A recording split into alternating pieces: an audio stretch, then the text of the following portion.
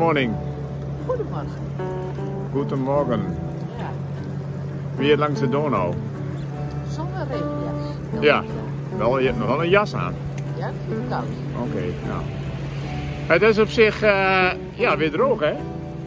Iets blauwe lucht. We hebben al in de zon gestaan vanochtend om de tent een beetje op te ruimen. En eh, ja, oeh, alles fieder kleddernat. En hier heb je die rivierkleiachtige grond, dus dat is ook echt wel fijn.